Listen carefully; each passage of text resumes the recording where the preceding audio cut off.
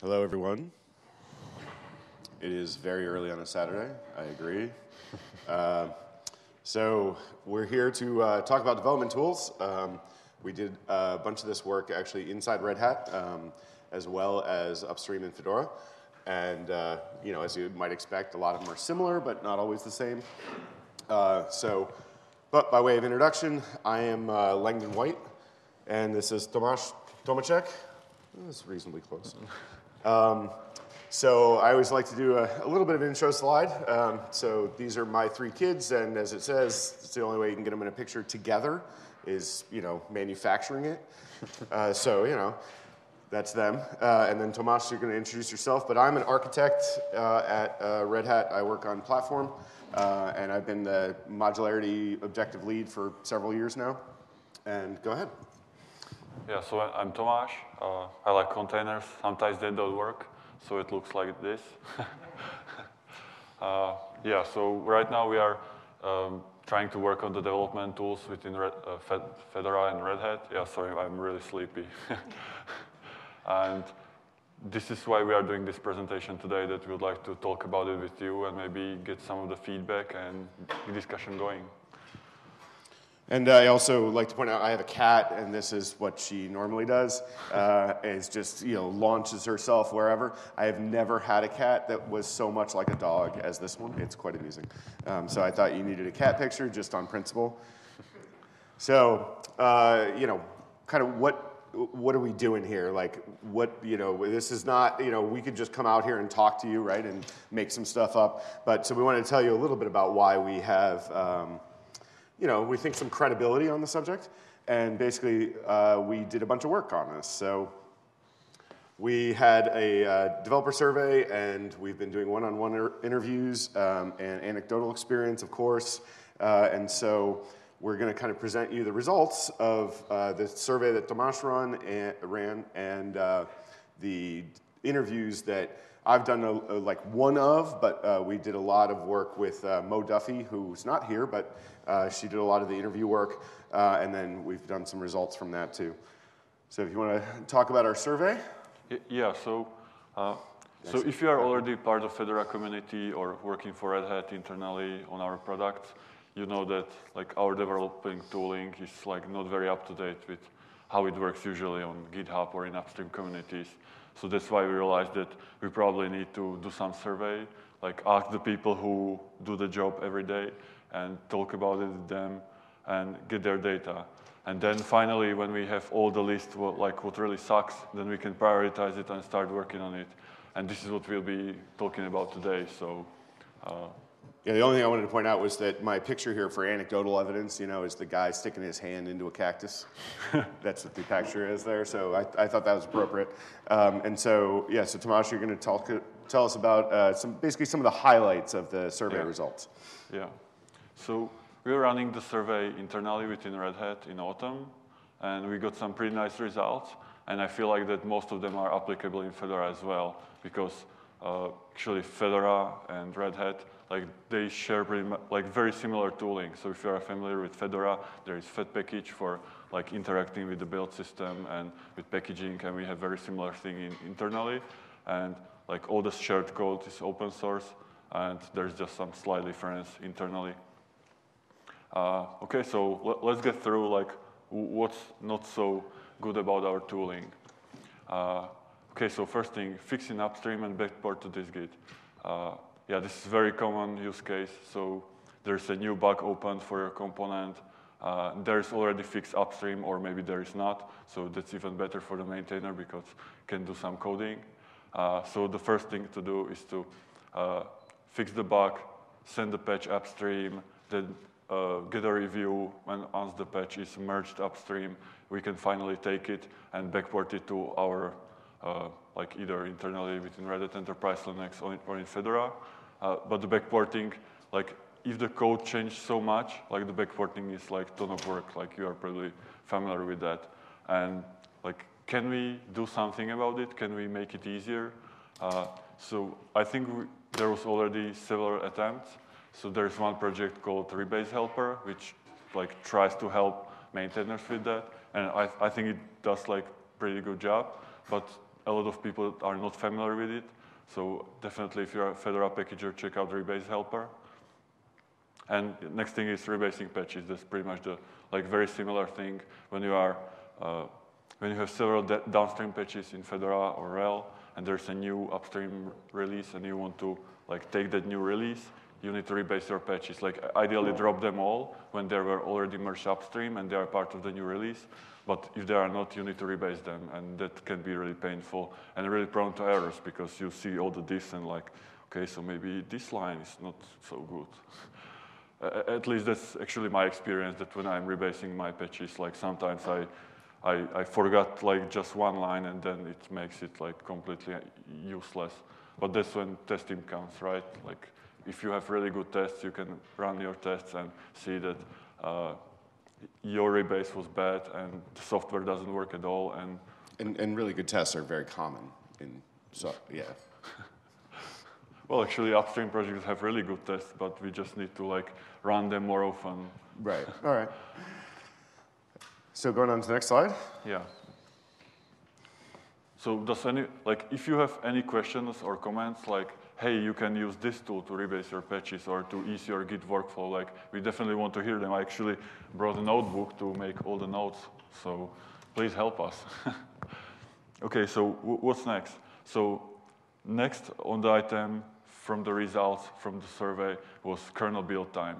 I was actually checking it out yesterday, how long it takes to build kernel in Fedora, and it takes six hours. So imagine that you are like fixing something, you have a patch, you include it, you build it, and then in six hours you might get a result. So for me, that's like really, like I, I wouldn't be able to work in, in such environment. So can we actually like improve it? maybe we can get some more beefy uh, computers and run the builds there, but that's also very expensive. So with like kernel build time, there's also like slow build time from other projects. So it's like the, we have also other component software which takes very long to build or even test. So for example, I know that systemd maintainers have tests for systemd which run for days. It's just like, wow, But again, like it's, like it's very, it's really needed to have those, but when they run for days, we should probably figure out how to make them like more faster, maybe run them in parallel or I don't know. Yeah, I mean, one of the big things that um, you're seeing a lot of organizations do, right, is uh, they actually do, uh, you know, different sets of the tests, right, uh, when you're doing development and, and compilation or whatever, um, so that you don't have to run the whole uh, battery of tests every time, so that you can get your your work cycle down faster. You know, one of the long mantras in programming is, you know, how fast can you make that that write code, you know, test, debug cycle. The shorter you can make that, right, the, the more effective you can be. And I think when we're, while we're introducing CI as the, through the CI objective, we really need to think about how, how we want to do that with, it's, it's kind of strategic, right? We can't, we can't just say, oh, it'll be fine if we just run all the tests all the time. We have to be a little bit more uh, particular about which things will run when. Otherwise, we'll just be waiting for builds all the time. Anything else you wanted to say about this slide? Or? Yeah, actually, so would I actually do like on my own when there when there are slow builds or slow test runs? I usually like start working on something else. So then I worked on two things parallel, which like I feel like that is very productive for me because I, I don't have any downtime. But at the same time, if, you're, if you know Fernando Colione, who is an agile practitioner at Red Hat, like he's very, like he would tell me that like that's not a good idea. Like you should like take only one task, focus on it, and do only one job. So, but if your job is to look at CI logs for 20 minutes, I'm not sure that's fun or useful. So I actually need to ask him about it. Like, what, what does he think about such situation? Yeah, I mean, I don't, I don't know a programmer. I don't know about you guys, right? But you know, I don't know a programmer who doesn't do that, right? Mm-hmm. Who doesn't kind of multitask in this way, and it does lead to problems, right? Mm-hmm. Um, you know, because you forget where you were or you forget w- what's going on, and then sometimes it ends up being three different tasks or five different tasks because each one's taking so long. So we really need to figure out how we're going to improve, you know, basically allow you as much as possible to be single focused or have mechanics around, um, you know, one of the big things that's bothered me for a long time, right, is like, how can we save our context, right? So, you know, is there a way that you can kind of keep the context from that particular issue while the kernel's building for six hours um, you know, while you work on something else so that you can jump right back into it because that context switching is what is really hard for a lot of programmers, uh, but for people in general. But I think it's particularly bad with programming because, you know, you'll have some random number or whatever that you have to keep in your head because it's the, you know, the, the input that you need to test, you know. So you have this weird context that changes all the time uh, that is very, very difficult to save off to the side. So, you know, I don't know about all of you, but like, you know, for me, like I end up taking lots of notes, you know, next to whatever bug I'm doing, um, you know, and then try to switch context and then come back, and it's not very efficient. Um, you know, so maybe some of the ways we can do it is actually help programmers uh, save their context. Mm-hmm. You know. Yeah, I agree. That's what I also like learned to do was whenever I, when I'm working on something and I'm running like very specific long commands, I try to like include them in documentation in comments so that next time someone works on it doesn't have to like reinvent it once again. Right. Invariably, I'll have typos in there and make it worse for the next person. But, you know, that's just me. Learning experience. yeah, exactly. All right, next. Yeah, yeah. Let's let's go to the next one. Uh, okay, so what's next? Uh, ignoring broken content in Fedora. Yeah, so everyone who works on Red Hat Enterprise Linux know this very well. When, and this is actually like a big issue we are trying to solve right now, is that uh, we have Fedora Rawhide, so that's a place where all the new upstream content lands by default, but it's not gated. So for example, there's a new upstream release of curl, and we just put it to Fedora Rawhide, build it, and it's there. And maybe it would break rest of the operating system, and we would not be even able to compose it or even use it, install it, update it because of this change. But right now we have no, no mechanic to do such thing. And if you imagine that like this happens for like tons of packages, and then we try to take them into Red Hat Enterprise Linux, and they are like coming broken, so that a lot of people need to spend a lot of time on fixing them, and then getting the changes back to Fedora. And so, yeah, so what we are trying to do right now is to gate on Rawhide. Like this will be our like objective like for next couple of months, but I guess we'll discuss it later, right? Yeah, yeah. Uh, so yeah, getting broken content for, for Fedora. So this is like a real problem, and finally, to hopefully, it'll be solved. Okay, so inconsistent results. So I'm pretty sure that you are familiar with such thing that you have a pull request, you are working on it, then you are done. It works locally just fine. You push the changes, CI runs, and you get like completely weird errors or maybe uh, there was a timeout on getting metadata for package manager or, or something like that, and you're like, okay, so that's absolutely not related to my changes. Okay, so retest. And maybe there'll be a different error. Okay, so let's try again, and maybe third time is the charm, and it suddenly works. So yeah, we need definitely to be better about this.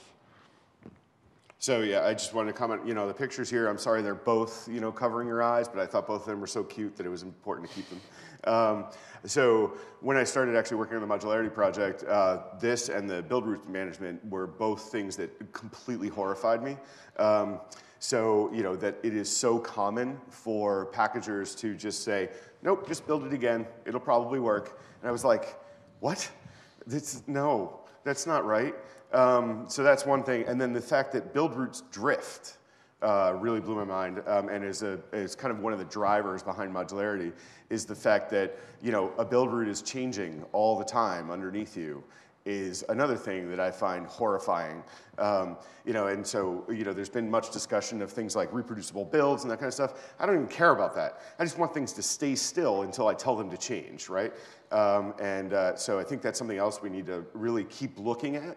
Uh, we've, we've started to fix some of that with modularity, um, but in my mind, at least, it's, it's not good enough um, because you know I, I want predictable results. Um, even if they're broken, I want them to break in the same way every time. You know, uh, so I find this uh, particularly scary and something that we really need to be more consistent on, basically.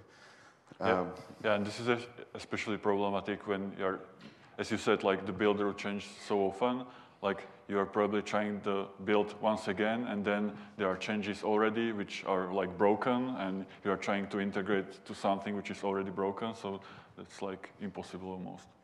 Yeah, so I'm, I'm very impressed and equally horrified with the, uh, you know, how this works today. Um, but, yeah. So maybe to the third point, because it's actually not clear, I, I actually had to think about what I meant by this. So poor build root management, it's about Koji. So if you are familiar with Koji build system, uh, when you are submit a build, there's already a build root, which is a set of packages which are used. uh, for your build and you are able to actually change them like okay so i want to swap this one for a new version i want to change this one but it's like very manual so you need to like a lot of typing and it could be actually more smart or more easy. And this is also something which we are working uh, or, or trying to figure out but we'll talk about it later when we get to actually how do we solve all of these. Uh, Okay, so what's next on the menu? Chasing failures. Yeah, that, that's also actually pretty fun. Like when you there's a new bug report and like you look at the report, it's like, okay, so I have no idea what's going on, and you spend days like trying to figure it out in your code, or maybe figure out it's a dependency, or it's a build system issue, or maybe there's a CI environment is completely different and unstable. So chasing failures, yeah, it can take I don't know days, weeks. I, I heard stories about people who were maintaining some C packages and there were some memory corruption and they spent even weeks or months and in the end uh, the fix was one liner or something like that. So I'm, I'm not sure how rewarding or actually fun this is. I actually never maintained any C package so I didn't have pleasure. Uh, uh, okay yeah so uh, this one I wanted to comment kind of on the pictures here as well because um, what I think part, like what I think these all four of these kind of reflect is that there's not a very good pattern for um, you know how you kind of go through the process, right? Um, everybody has kind of their own model, um, and it's slightly different, uh, and there's uh, there's not a lot of consistency there either, and so as a result, we don't have strong tooling to make the things that are automatable more automated. Um, you know, and obviously there are some things that'll continue to be things that you have to do yourself, right? Like chasing down a straight up bug. It's just what you got to do. Um, and but when you when you have to think about how the branching works, if you have to think about how Bugzilla acks work, or how you have to do you know whatever submitting Koji builds and knowing what all the right flags are, like all these things are are things that you have to keep in the forefront of your mind, um, you know, because you have to do them a lot, but they're not you know they are documented, but they don't really need to be documented as much as they need to be here's a tool that just steps you through the process, right? And says, this is the next thing you need to do. Um, and then you can actually, you know, kind of keep your mind spare, right, for, for actually chasing down legitimate bugs. Um, and I think this goes back to kind of the earlier point a little bit of, you know, the more inconsistency you have in your results, the more, uh, you know, what's more often introduced, right, is, is problems that you aren't aware of, right, or you can't, you, you, know, you think there's a bug, but there isn't necessarily because it's just an inconsistent result. So those are, those are very hard on efficiency, right, is like, you know, chasing down a bug is hard enough, but introducing a bunch of complexity to make it, you know, makes it much, much harder. And then if we go back to the even earlier point of kind of the context, if you can't keep that context, um, you know, it's, it, you know, just kind of keeps adding and adding and adding and making it more and more inefficient. So, so are you saying that we need some kind of developer dashboard? Like Perhaps a developer dashboard might, might do the trick. Um, except, uh, so, you know, there is the existing developer dashboard. The, the challenge I have with that is that um, in some ways it's more like a portal, right? So it, it kind of gives you an insight into a bunch of different places in the developer kind of workflow or life or whatever, but it doesn't really, there's no real like kind of guidance around the actual workflow you have to pass through, right? There's no, um, you know, going, like I keep going back to context because it's a pet peeve of mine, but, um, you know, there's no way to kind of say, okay, where was I on this issue I was working on? There's only, here's its current state, right? Which are not the same thing all the time. Okay, so to spend some more time on, on the other points, uh, so branching, so again, in Fedora, branching is actually fairly similar. Like in dist-git, you have one branch per uh, Fedora release. So it's like right now, there are three. It's Rawhide, Fedora 29, and Fedora 28. And like soonish, it will be Fedora 30 as well when we start working on it. Uh, but internally, we have like so many products. We have so many different releases, so many different supported releases. So for example, uh, when there's a bug or CV in, I don't know, like MariaDB, you need to fix it on 20 branches or something like that. And like you literally need to do like 20 commits in 20 different branches, which again, like why, why there is just not one and well, maybe so this is, distributed? This is a big thing that uh, was something we really have been working hard to try to fix with modularity is like, why is there a correlation between the database MySQL and the product it ships in, right? Whether that product, and I'm not supposed to say product, but whether that project be, uh, you know, a Fedora edition of 29, right, or RHEL, right? It's like, it's still MySQL, whatever, 10, right? Like, why, do we, why is there any sort of connection between the version of the software and the thing it's going to land in when it ships, right? They're, like, at least at the Git level. You know, yes, somewhere along the way there should be a config file that says, you know, yes, this, you know, MySQL 10 is in, you know, Fedora 29. Um, but why, why, is that represented in Git in, at all? It just seems ludicrous to me, right? So um, I really hope that as part of the modularity work, you know, we've introduced um, and we don't really have good term for this, but we, have been calling it arbitrary branching. But really, it just means branching that's related to the thing that is being branched rather than some random thing that's over here at the end of the pipeline. Um, and I think that really reduces the complexity of like having to keep track of where things go, but then also more so internally, where now maybe, God forbid, we could have, say, a branch for 10, you know, or maybe a branch for 10 and an LTS kind of branch for 10 but that's two, not 30, right? Uh, so uh, again, we, we cross into pet peeves of mine quickly and I get, uh, but yeah, so. Uh, okay, so, and finally we have two more things, which is Bugzilla acks. Uh, again, like internally, we use uh, this system like Bugzilla, acks to actually like, so, so when there's a new bug report, uh, you need to get like acknowledgments from, from the management that, yeah, this is the bug we want to fix uh, and release. And you literally need to find the right people who are able to do it. And again, like it can take days because maybe the person is sleeping right now and you need to wait six hours to wait for him to get up and ask him like, hey, can you please tell me whether I should work on this? So again, we probably need some automation here to like make it much easier. And finally, manual steps. Like again, if you're a Fedora packager, you know that there's a ton of manual steps to when there's a new upstream version, you need to like pull the tarball, then commit to dist-git, then build it, then wait for the build, then produce an update, and do the same thing maybe for Fedora 29 and 28. So again, it takes 30 minutes when like the manual step should be like, yeah, I approve this change and that's all I'm doing and everything else is automated. So. Next slide. yes, please. it's, it's snowing. Is it? Yeah. Oh, yeah. Um, I checked before I came, and it assured me in the, on the interwebs that there would be no snow this week. Um, so that's nice.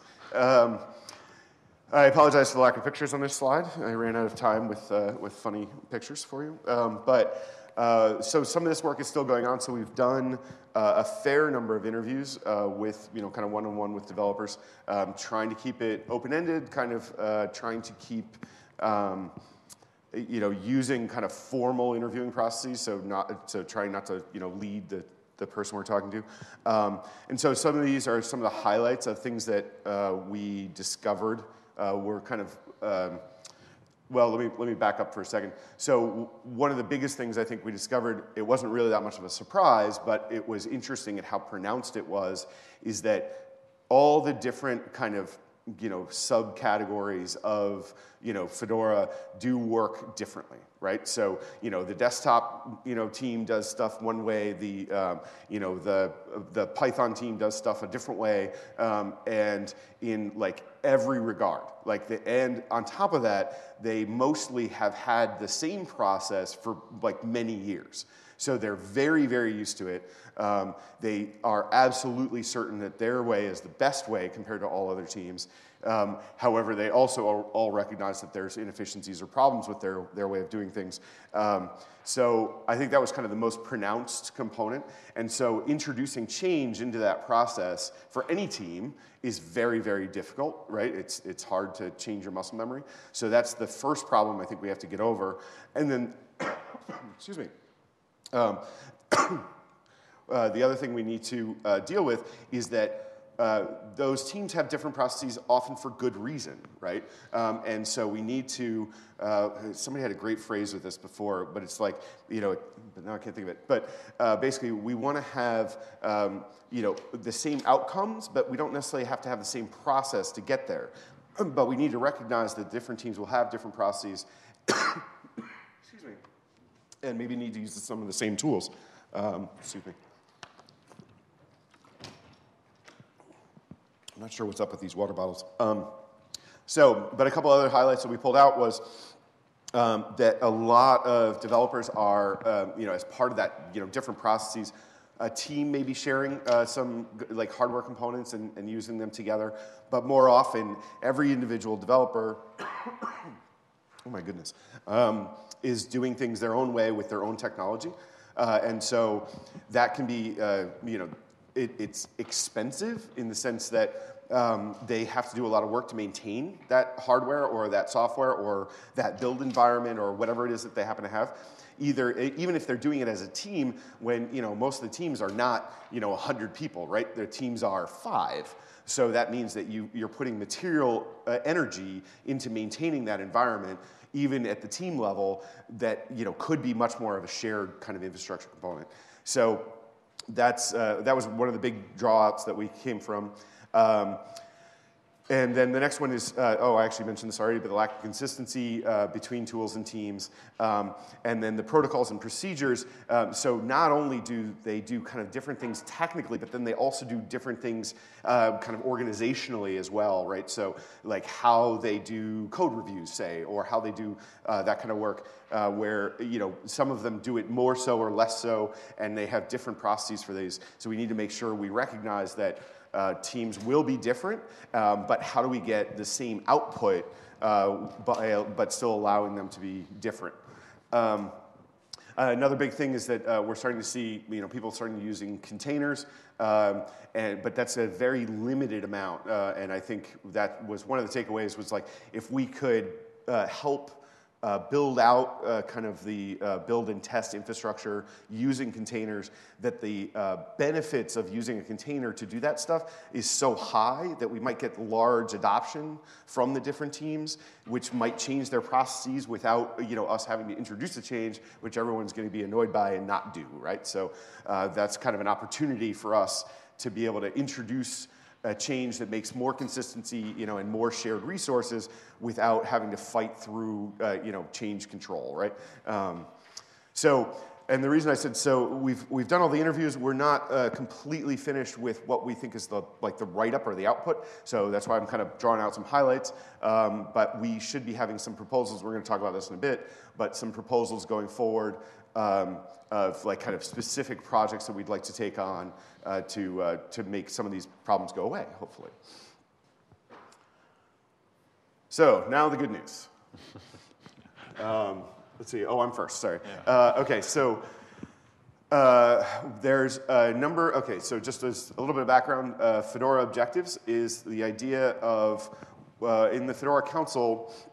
Um, we decided, uh, this was a few years ago now, but that we weren't getting enough things where uh, we wanted to move Fedora, the project, kind of as a whole towards a particular goal.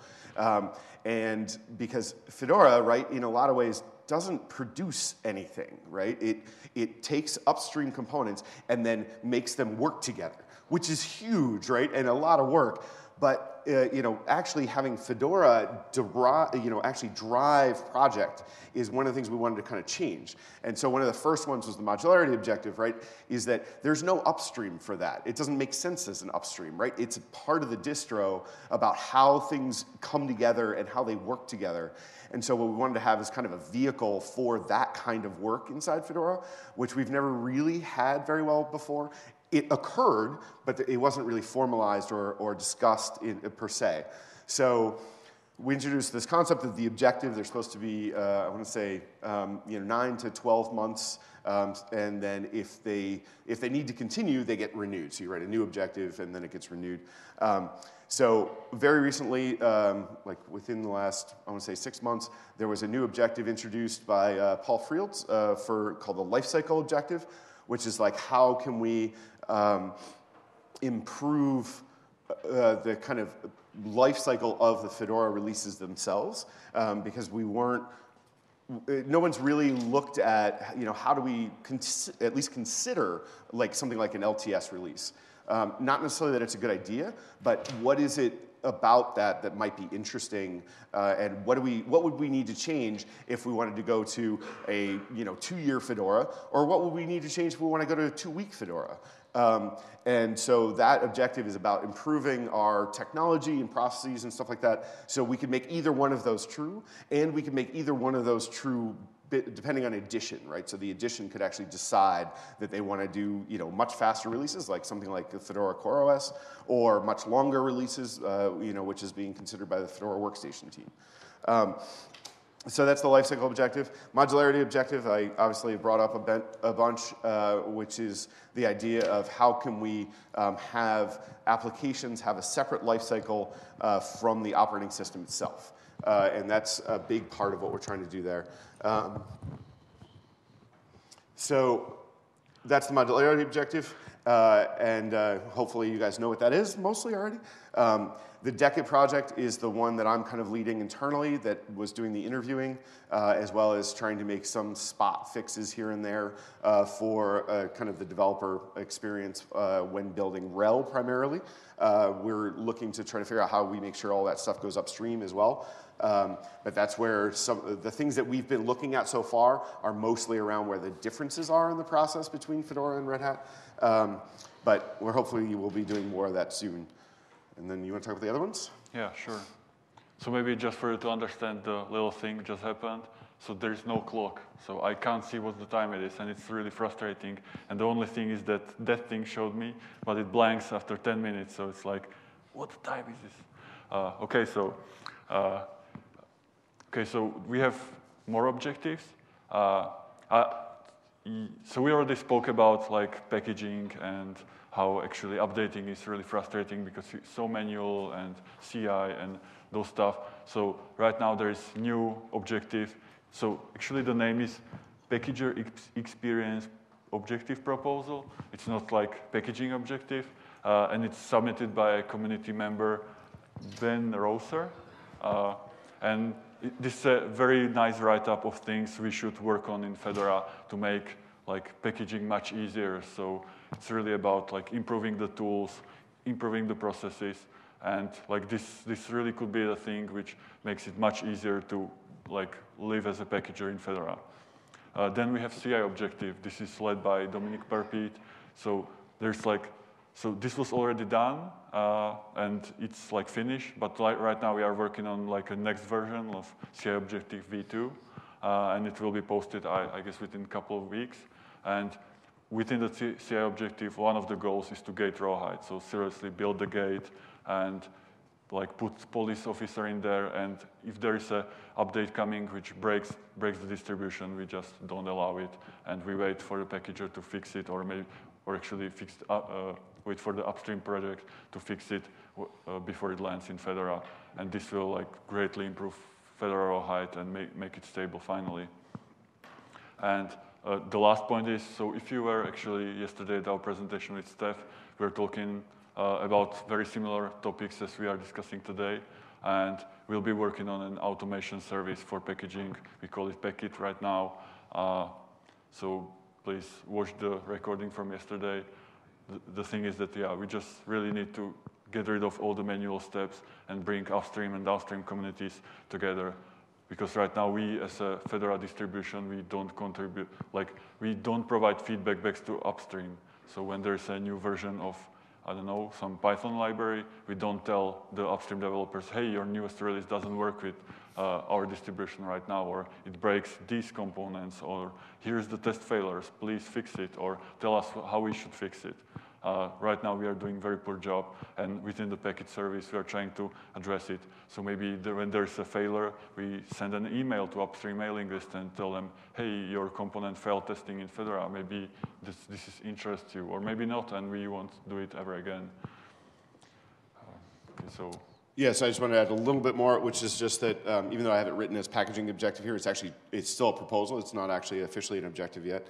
Um, and then I would just also want to mention that Packit and source-git are the, the projects you're working on related to this. So the name of the projects.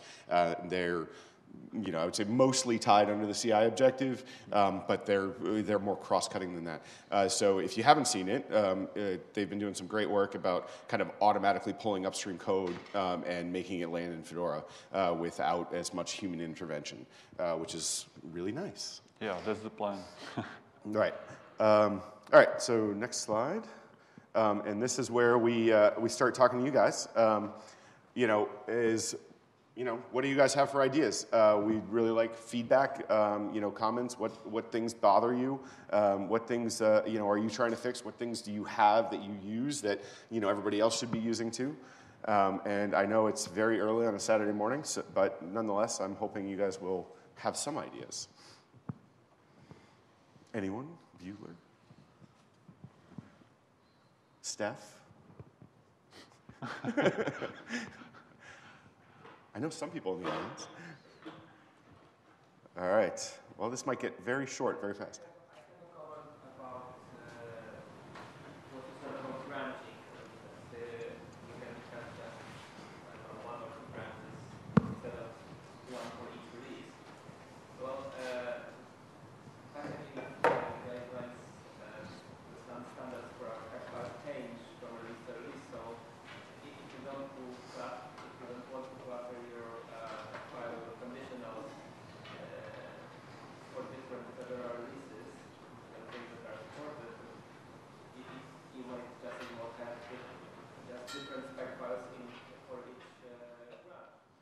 Right, so I'm going to repeat the comment. I'm going to repeat the comment for the, for the mic, right? So um, basically, the, the comment is, um, you know, if we want to try to get our branching down to, uh, you know, by uh, kind of application level, right? Um, we might end up with challenges because there's different spec files depending on uh, the release that that package is going out in, right? Um, and if, or we can, you know, kind of merge all that into one spec file and we have lots of conditionals in there, which can be really messy. And um, I would comment back that, you know, uh, a, okay, yes, you are correct, right, 100%.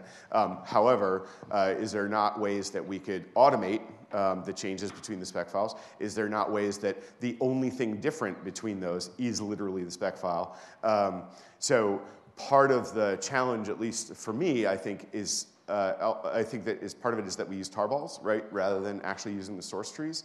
Um, so I think that uh, that introduces more complexity uh, to how you do the branching. So yes, I agree. It's it's not an open and shut case, um, but I think there's ways we could do it better uh, and still reduce the number of branches, and also not clutter up spec files, right? Um, I don't know. Do you want to add? So, to be honest, I actually disagree. So okay. I understand your comment that when you, you have, for example, two, okay, we have two branches, like Fedora and CentOS branch, and we would have like two spec files, and if like each of the spec files would be like very tied to the specific release, uh, you would need to, like right now you are maintaining two spec files, not just one. So you can't put it in upstream or anywhere else, there are just two. So whenever you, there's a new update, you specifically need to like make the changes to one and to the other one. But if you have only one spec file with all the ifs and else's uh, and like that, you are maintaining only just one, so you can easily tinker it and it's just one.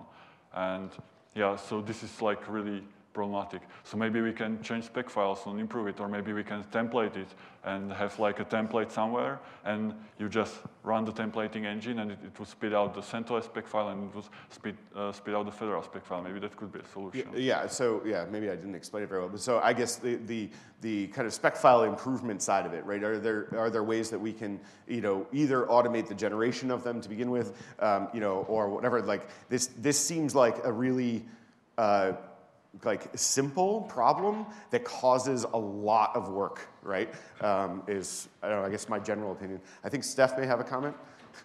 Well, why don't we start with removing the change log? Removing the revisions. Let's just remove these horrible things that get in the way of any modern tool working on a. So the comment is basically, um, you know, one of the one of the things that's uh, part of why spec files need to change so much is the change log. Uh, Steph and others find that uh, not particularly valuable anyway, so why don't we just dump it, um, which uh, I think is a, kind of a funny recurring theme.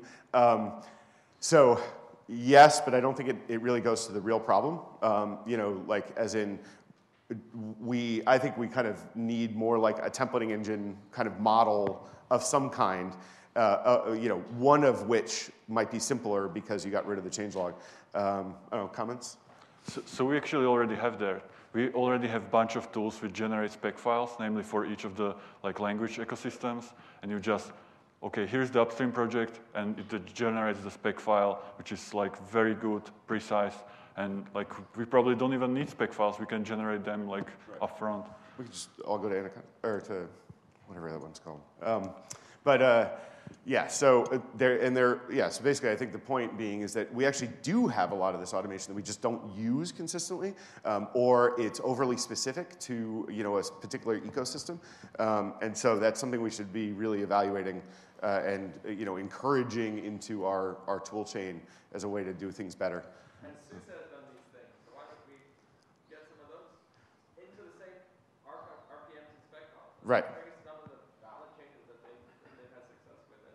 Right. So the comment is that you know there's other RPM distros like SUSE who have made improvements along these lines that we could probably adopt um, and uh, you know maybe get away from our fascination with uh, spec files being such a hand-built uh, piece of perfection um, that they really don't need to be. Uh, more comments? Slavek?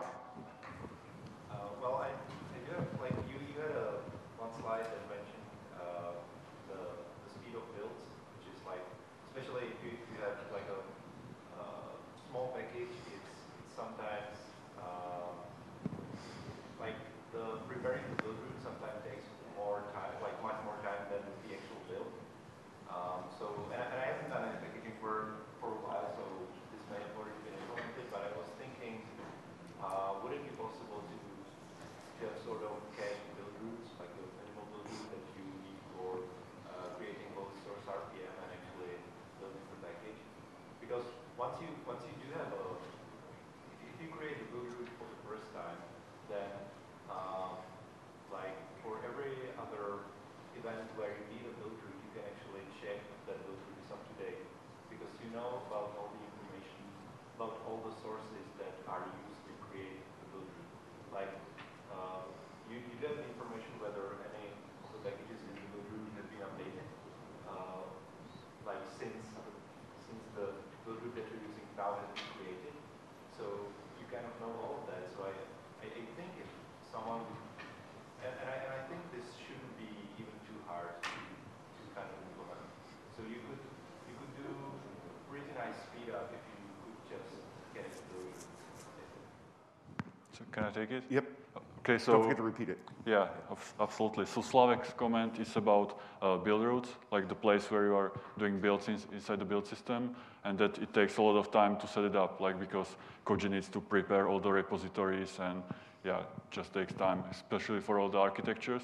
And Slavek's comment is about uh, that we should cache them, and that should speed up the build process a lot.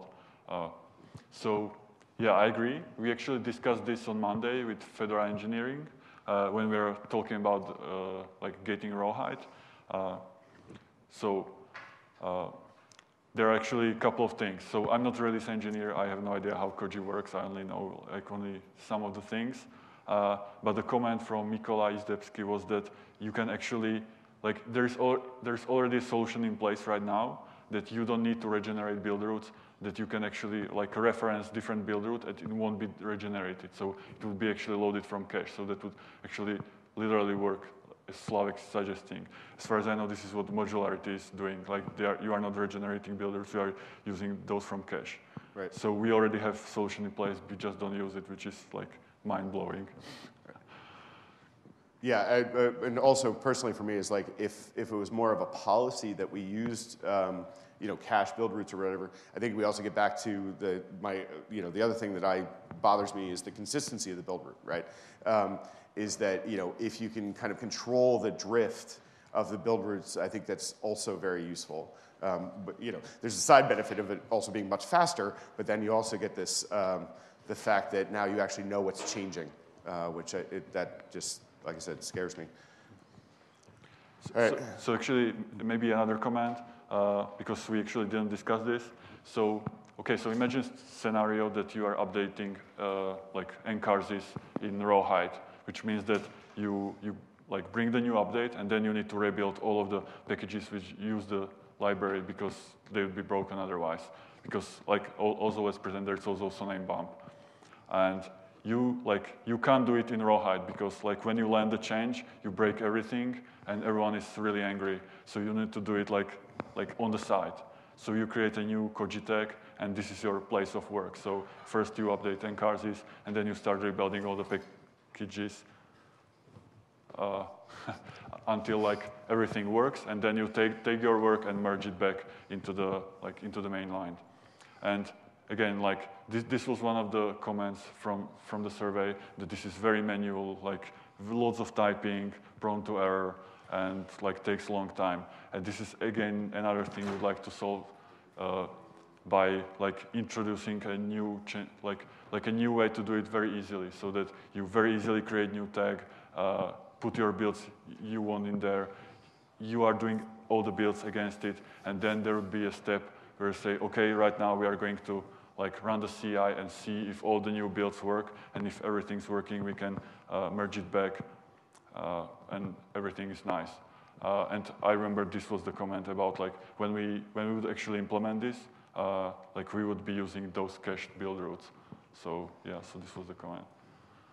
So I wanted to move on just a little bit, um, which is here are some of the questions that we had um, that uh, we would like feedback on, uh, and you know, and anything else, obviously, that we've been talking about. Um, but we're we're running out of time, so we wanted to kind of say, here's some other ideas, some things that we've thought about. Uh, we really like feedback from all of you about things that you've been thinking about or things that annoy you, uh, so that we can try to help address them going forward. Um, you know, and actually add them into you know whatever the objective work and stuff. Um, so the last thing we wanted to cover is basically like how do we how do we make this, you know, how do we get this out to people, right? So how do we tell people what we've done, what we're changing, what we'd like to change, you know, what, what would work, you know, does anyone have any ideas about how, you know, we could kind of do this as a community more? Um, you know, one of the ideas I've had for a long time is if, um, if something like the FPC was less of a, you know, kind of a board and more like a working group. So like a place where you kind of go and talk about, you know, packaging and like what problems you're having. Um, you know, maybe it's not literally the same group, but, you know, kind of like, would it help be helpful if there was a place where uh, people would go and um, talk about improvements to things like packaging? Um, you know, or where, where would you discover ideas about like how you could improve your own processes? And that's kind of what I was hoping to ask you. And maybe, do you guys have any ideas around that? Um, I, am reacting to what you had on the previous slide about these kids. Um, and I was wondering if there would be a way, you mentioned that there are two instance, to generate spec files and so on. There are now GitLab files almost, you know, in many, many projects you have the uh, uh, the, the, the YML files that describe how to build this project. Would there be a way to exploit these existing files that are already there and build some tooling that basically helps us build this larger uh, from source distro aspect? Is this something that makes sense? Yes, absolutely. So that's why how all the generator spec files tool works. So for example, pyp2rpm uh, takes setup.py, finds all the dependencies and generates the spec file ba based on it uh, so that all the dependencies are right. So this is how the tools work. So the problem is that you have like special snowflakes, like very nicely crafted, which... And, you run the Uh, yes. The generation run... tools? Yeah. Yes. So, so what I'm talking about is having something that scans the projects we have, look for, okay, this one has a setup yeah, this one has a GitHub YML and so on. And then I use that and I build the spec file from that and see where this goes, whether this actually works. Would that make sense? Yeah, so uh, essentially, I think you're saying it's like um, as part, almost like part of our CI infrastructure, for lack of a better term. Um, you know, can we actually run the gener like actually walk the projects, looking for things that look like the things that we have generators for, generate them, build them, and then propose them as uh, changes back to the developer, um, you know, based on however they were generated. I don't know. I think it sounds like a good idea. Yeah, absolutely. I agree. Like we can, uh, and we could even cover like I don't know, like 80% maybe of the distro. Like there still be like a lot of special packages which need like very very nice care. But like for basic Python or I don't know Node.js libraries, we can do it very easily. This is uh, uh, also one of those places where um, you know you ever heard the you know perfect is the enemy of the good, right? Um, like if we knocked out 40% of the packaging work, that would be ridiculously a lot of time, right? Like we don't have to get to 95% for it to be useful, you know? So then if you think it's a good idea, can we talk later? And Yeah, yeah, yeah. All right, we are out of time per the red sign I just got. Uh, thank you for coming, and uh, hopefully it was useful.